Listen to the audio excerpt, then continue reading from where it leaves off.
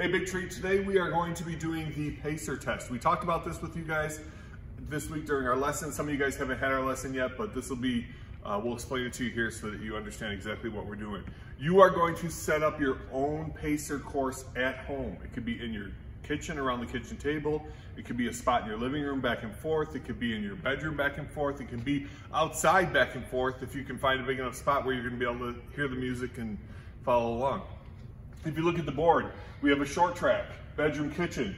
If you're doing that, a shorter track, you're gonna get higher numbers. Every time it beeps, you go back to the beginning of your track. If it's short, obviously you're gonna be able to do more. If you go to a medium track, maybe you have two rooms like a dining room and a kitchen and make it a little bit longer, it's going to be a little bit more of a middle number where you're not gonna get as many because you're running longer, but you're still getting that exercise in. If you have a long track outside, maybe in your basement, you've got a big basement, and you're running a, long track, kind of like what we do in the gym when we do the pacer test, your numbers are gonna be smaller, but again, you're still getting that exercise in because you're running longer between each beep. So it does not matter at all which size track you pick. Keep track of what number you get. The, the pacer test tells you automatically as you're running number three, number four, five, and it keeps going all the way up to like 200 and something. Some of you will get close to that if you have a really short track that you made.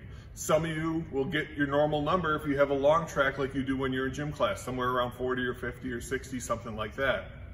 So all we ask is that you keep that number. You can even post it on our uh, classroom link and just say, hey, Mr. Scudder, I got 27, or Mr. Zinski, I got 30, or whatever you want to do. And then next time we do it again, you're gonna try to beat your number. But the key is gonna be this. The second time you do it, you set up the same course. Because if you do a different course, your number is gonna be totally different and it's not gonna be able to be compared to your first time. So make sure you have a course and you're able to use that same course next time. That's why outside might not be the best option because the second time we do it, if it's the middle of winter, you might not be able to go out there and run. So probably best in your basement, garage, house, somewhere around your kitchen table, whatever you end up doing.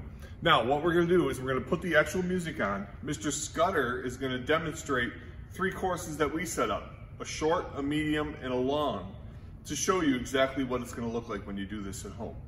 Good luck, have fun, do the best you can as always. Starting line. Get ready, start. Touch the wall. Back. Waiting for the beat. One.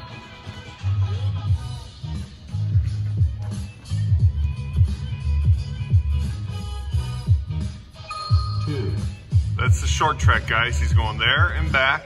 He comes back and he waits for that beep. You want to see the kitchen table. Now, some people have a kitchen table, dining room table, something circular, maybe around a couch. So let's pretend that mat is your kitchen table. Four.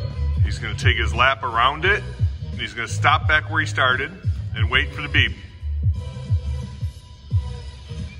Five. Now, as those beeps are going up, I'm looking at my computer. I see my counter is counting for me. Six. And it says the number I'm on, on as well. So I could see it and I could hear it. Seven. End of level one.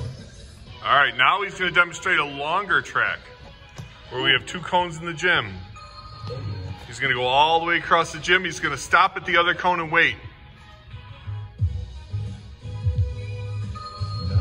There's the beep. Now let's talk about how do you know when you're going to be done with the pacer test? You get two chances, girls, boys. If I can make it, if I can make it to the other side, that's my first chance. All right, Oh, I he, barely got there. He didn't make it, but he's gonna try again. He's gonna keep going. Already got his. Okay. Twelve. All right, two times he missed the beep. That means his test is over. He's gonna look at the screen and he's gonna see what he got. In this case, he got 12. So he's gonna write that down. He's probably gonna message it to Mr. Zinsky and say, Mr. Zinsky, hey, it's Mr. Scudder. I got 12. Hopefully next time I can do a little bit better. So again, we have a long track Mr. Scudder showed you, We have a medium, which was like around your kitchen table. If that mat is a table, we'll pretend that's a table. And we have a real short track where we just have a small spot that we ran. And on the short track, we actually did back and forth for each beep instead of just one way. So those are the different options you have. Mr. Scudder, excellent job demonstrating, as you. always. You might say with the short tracks, hey, this is a piece of cake. I'm gonna get like 100. Let me just show you what 100 looks like. I'm gonna fast forward. Here's 100. I'm gonna put it to 98. It gets faster So and faster. even if you're on a short track, 97. 98.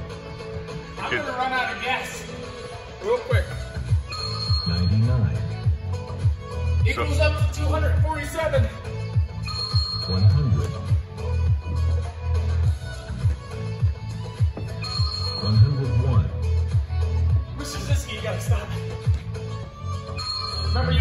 You get two chances.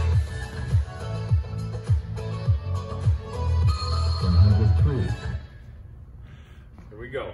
Everybody's gonna have their own individual score.